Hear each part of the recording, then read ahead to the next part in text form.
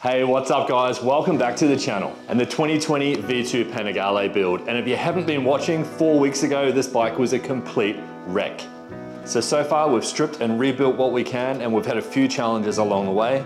This whole front end needs to be replaced. That the front wheel is completely buckled. And now it's a race to the finish line because by the end of this episode, we need to get our Ferrari themed Panigale finished and do that design justice. And the first job we've got to do is finish off the front end because this is no good. So we're gonna throw it out. We did get another wheel, but that also turned out to be rubbish. So that was an eBay waste of money. However, we just picked this up for $800 and we've already had a slick fitted at Moto Garage. So new wheel, new brake discs, time to get this front end rebuilt.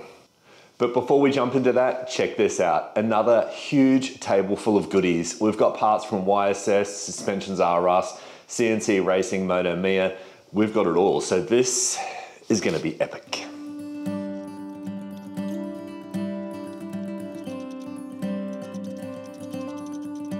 Well, those nuts were ridiculous. First injury of the day so far. But check this out. Look how bent they are. So lucky for me, we picked up a new set, $140 on eBay, and they should do the trick. I'm just one bolt short because I've managed to, to shear one bolt off, and that could be a pain in the ass. So then it's on with the new discs, quick tighten them down and give them some Loctite, and then torque them down to spec. And then I always mark my torque marks as well. And then time for the wheel to go back in. God knows how many times I've taken this on and off. So I'm gonna do away with the caliper bolts that are on there because they're heavy as shit and they just look ugly. And I've got these, some very nice Pro Bolt pre-drilled race bolts. So I'm just gonna mock up the front end for now because I've actually got to take these forks back out because we've got a pretty awesome upgrade happening on these forks uh, in about two days. So I'm just mocking it up so I can move the bike onto the other ramp. And that's actually the ramp that works that I can actually lift up because I'm six foot two. I don't want to be working at ground level.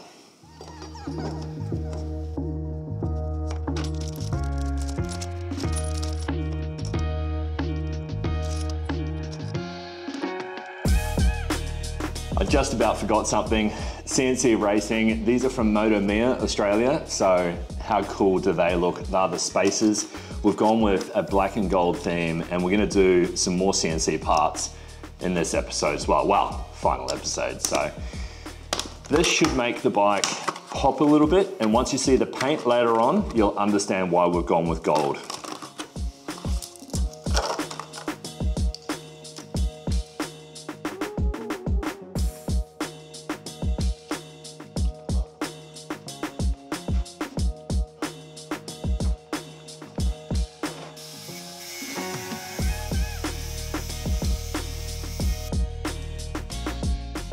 So the chain's off and we've got access to the hub. We've taken the hub off.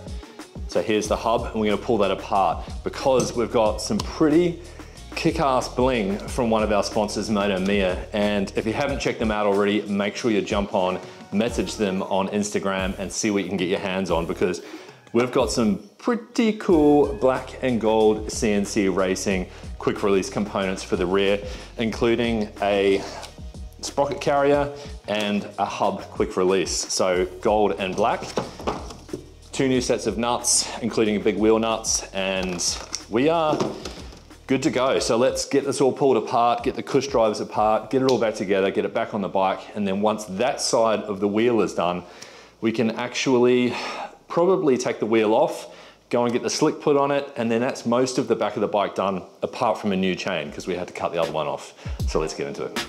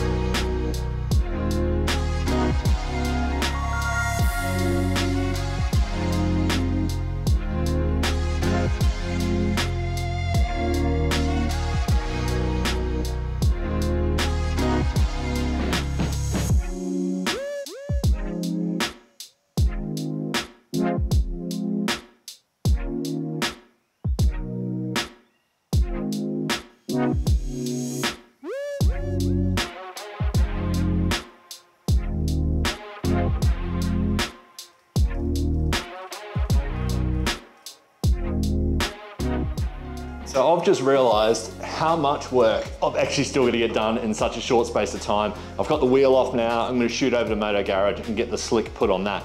I've got suspension package, that's got to go in and it's got to be professionally put in. Um, I've got a paint set, I've got decals, which haven't even arrived yet. All this for Saturday and it's already Tuesday, so keep your fingers crossed.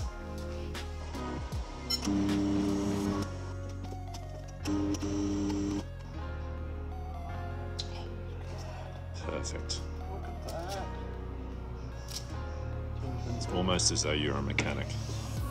So our tyres on, thanks Moto Garage. And we also picked up a 520, really nice chain, RK Racing, and it's got some gold spec on it as well, and a set of Brembo Racing brake pads. So they can go on a little bit later. But let's get this tyre on.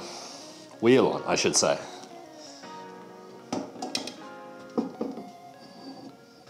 We'll put our new CNC Racing nut on as well.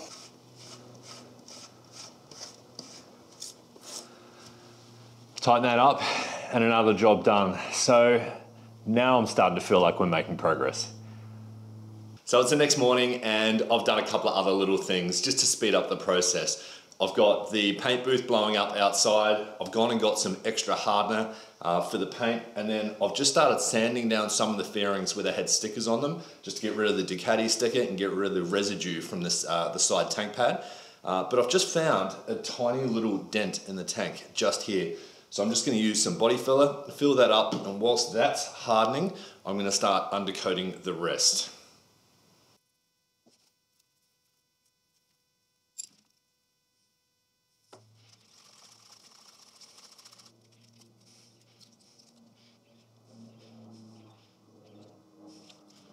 Now once that's dried, I know it looks thick, but once it's dried in about an hour or so, I'll be able to sand it back and prep and prime the tank as well. Fingers crossed we might actually make it on the deadline that we've got. So we're all set up in here. This is ready to do our first coat of primer. I'm trying something a bit new. I'm actually trying to position the pieces as though they would sit on a bike. So I was told this by a friend of mine. He seems to think it'll work. So I'm gonna give it a go. I bought a $20 clothes line and I can just attach the pieces there. I've got a piece hung up over the other side there. I'm just gonna wait for that tank to get ready. So we're gonna prime these, but before we do, I wanna show you something else. Because we have got some awesome performance parts for this bike. And we've got our full suspension package here from YSS Australia, Suspensions R Us. I'll put a link below as to where you can get these awesome, awesome uh, parts for your bike. Um, so yeah, massive thanks to those guys. Let's unbox it and have a quick look at what we've got. Okay, so this is the race steering damper. It's got 30 clicks of adjustment. It's pretty awesome. But check this out. This is the race 456W rear shock. See if we can get our fat fingers to open this box.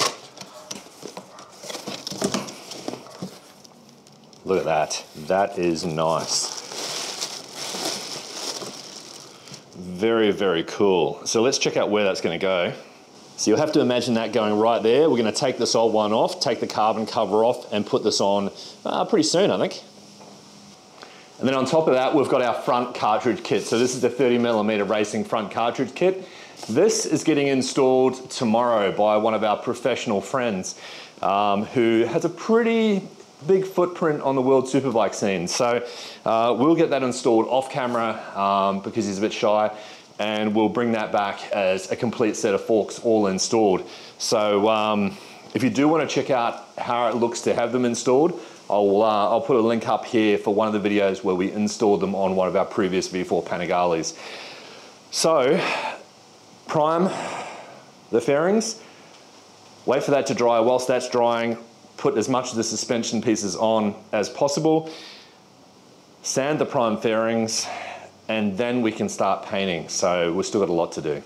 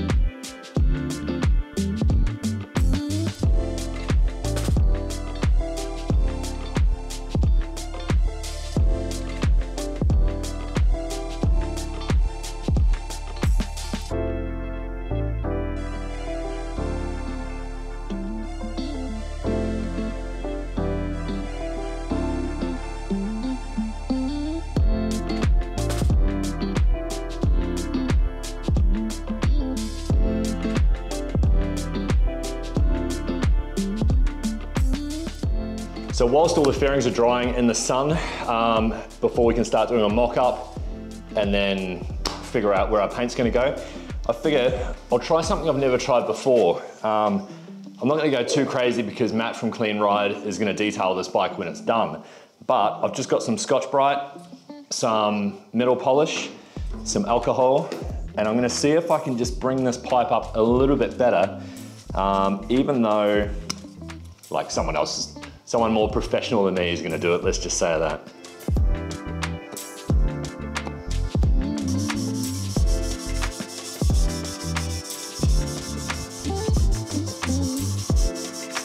It's important to go with the grain, which most commonly is across it.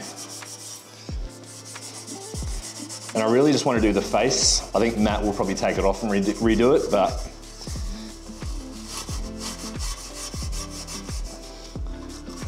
already starting to come up better.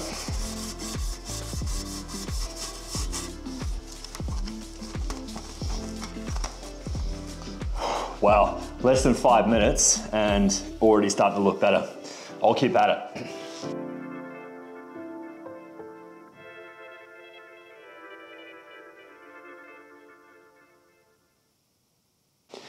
So this is where we're at. We've actually done a mock-up of where the yellow stripe. So remember this is a Ferrari and I'll put the design up here again. This is what we're going for. This is the 812 Speciale in Grigio alloy and Modena Giallo yellow. So the yellow is gonna be down the center here. This was really super hard to get a perfectly straight line. I had to come up with my own little mechanism of, I cut out a piece of cardboard and held it over the top a few stages uh, just to try and get the exact distance. So, um, so this is all gonna be yellow in the middle, Grigio alloy on the outsides, and then we've got some wheel striping, which is bright yellow. Um, we've got some extra yellow decals, including Ferrari decals for the bike and some Ducati decals. But the problem is, how do I even paint this? Like I've done multicolors before, but this is the one thing that stresses me. So I'm thinking I should start with the yellow and then go the alloy and then go the black stripes. So yeah, fingers crossed. Anyway, let's start mixing paint. Let's get the paint booth all ready. Okay, so check, oh no. Okay, so check this out. This is the yellow. This is Ferrari Modena Giallo yellow, and that's pretty bright. So that's gonna be awesome on the bike. So let's get our first coat done. I've got these bigger pots as well, 400 mil pots, so I should be able to mix up more and then not have to do so many repeats. So in my previous bikes, I was going back and forward and back and forward trying to refill up my tiny little 125 mil pot. So now I'm thinking two to one, maybe I'll go 200 and 100. Sweet. Two to one, heaps more this time. Give it a good stir. Everything's all set up to paint a little bit nervous. It's rock and roll.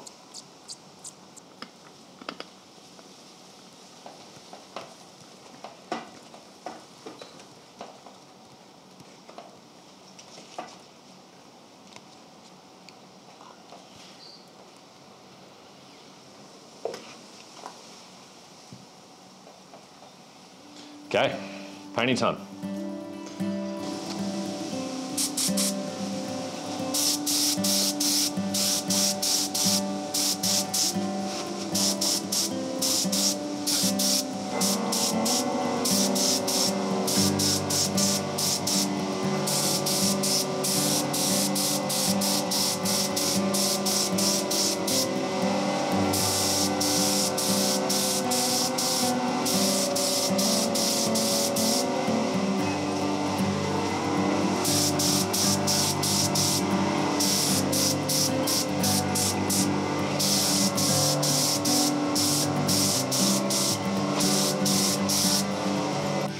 So I've also made some nice yellow, these are the same yellow vinyl as the, the paint.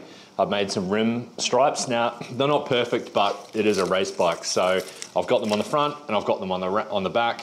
Check them out. So the yellow is done. That was actually four coats of yellow. I had to go a little bit heavier um, because it just didn't, I didn't want any of those marks coming through. Um, so I'm just gonna peel this off now. And then from, oh, let me think. If I peel this off, we can reverse mask and then we can do the alloy. Yes, that's correct. Once you see it against white, it's quite yellow. It's, uh, it's definitely the same as a rim tape.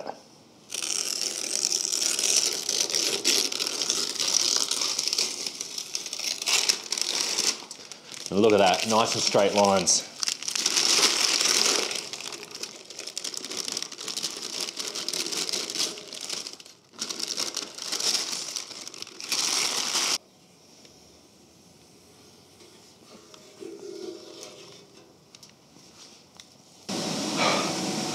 What a day. I am exhausted and I'm only half done. I uh, have reverse masked everything now, so it's good to go for the alloy color. Um, we've got a couple of pieces hanging up as well. And fingers crossed this works. Um, I'm still gonna do the black stripe between the yellow and the alloy color. I'm not sure if I'm gonna use paint or if I'm going to use vinyl, but we shall find out. Um, yeah, let's get it done.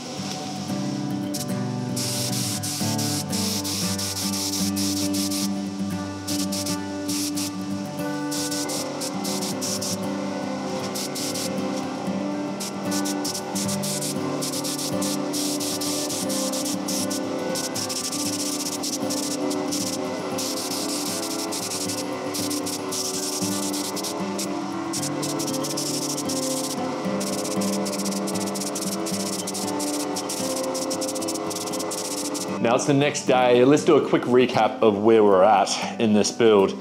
Um, and some other exciting news. This bike, the Aprilia RSV4 RF has just sold overnight. So goodbye bike, I love you, but uh, time for another build. So the front end is off the bike. That is actually with my wife. Uh, she's got the forks. She's taken them down to a friend of ours who's gonna do the install. But let's come out here and have a look at what we've got prepped for the final phase of the painting.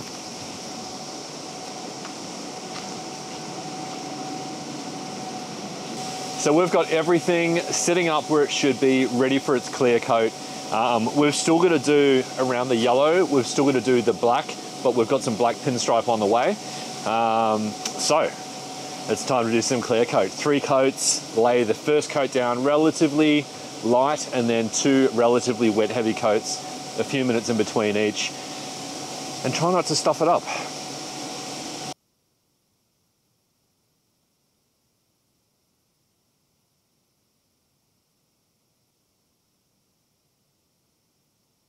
Okay, so the forks have come back and we've got the new YSS cartridges in them. So let's get those on the bike whilst we're waiting for that clear coat to dry.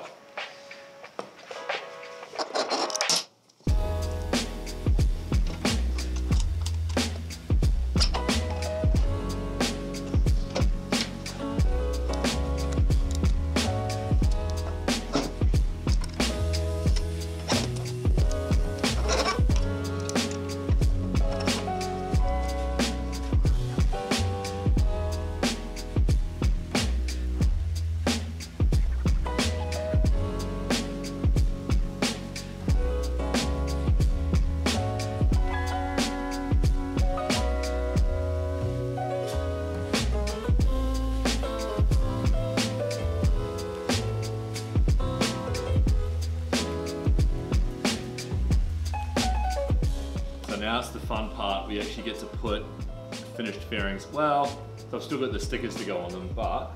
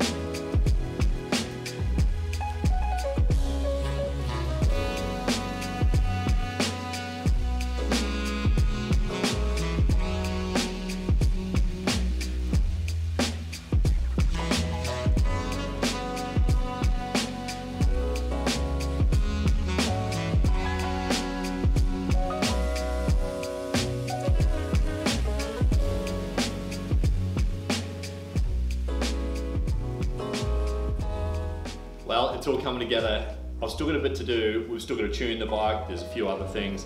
But next up, I've got this. This is a new tinted screen. So this is gonna go on right here.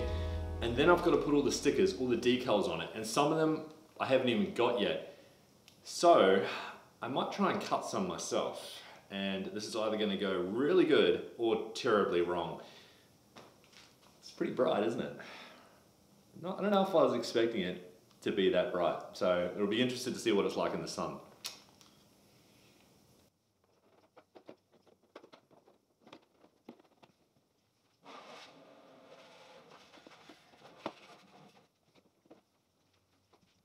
Top two bolts are drilled and put in place, so that holds it in place. So now I take the front back off and then I can actually drill from the back because the holes are already pre-drilled on the screen. Smarter thinking up here.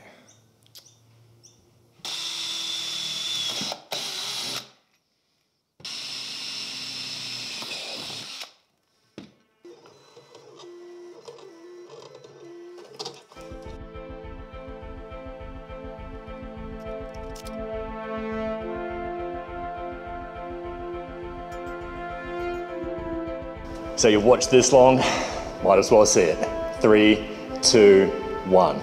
Here we go.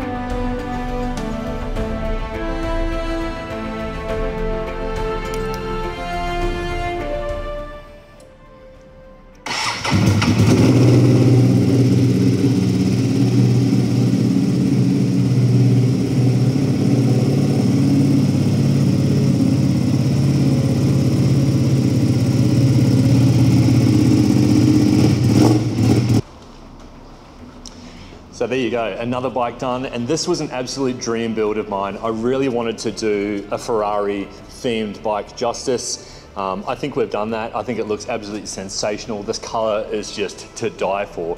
Um, obviously, we'll have another video on the dyno because we're going to tune this bike next week and then we'll try and get it out on track the week after. So we'll film both of those and we'll share that with you as soon as we can get it. But thanks for watching. I hope you loved the build series. There'll be another one coming shortly. Stay tuned, love, subscribe, love, like, subscribe, you know the drill.